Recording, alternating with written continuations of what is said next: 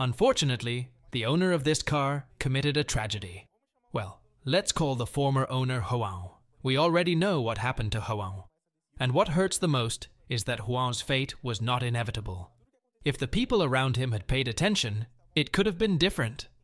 One of the first signs Huang showed was the abuse of medications and the like, and this happened shortly after Huang had a love problem.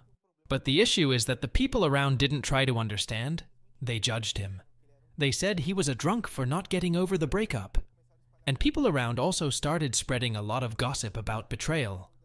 Because of this, personal and financial problems began to worsen. This culminated in the bankruptcy of the family business that Huang managed. The family simply did not accept the loss of their assets and made an extreme decision.